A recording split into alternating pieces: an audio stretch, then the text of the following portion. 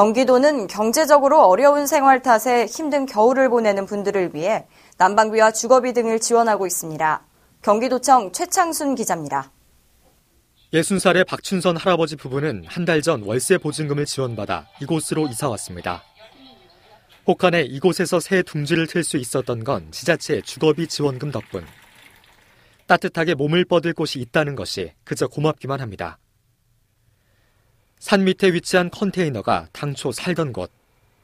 비닐로 겹겹이 덮은 창문에 수도나 전기시설조차도 없는 이곳에서의 겨울나기는 그야말로 견딜 수 없는 생활고였습니다.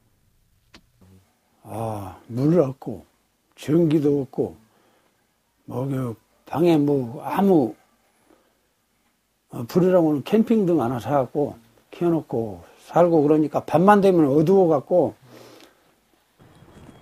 경기도가 이처럼 돈이 없어 에너지 복지 사각지대에 놓인 사람들의 겨울나기를 돕습니다. 우선 지원 대상 여부를 확인해 전기요금과 난방비를 지원합니다. 비닐하우스나 컨테이너 생활자들처럼 주거 지원이 필요하거나 재퇴거 명령과 월세 체납 등으로 이전이 불가피한 경우엔 주거비가 지원됩니다. 어, 기존에 사각지대에 계신 분들을 좀 더 많은 발굴을 통해 가지고 어, 지원에 대해서 어, 지원에 대한 사항들을 좀 더 노력을 해야 되겠고요.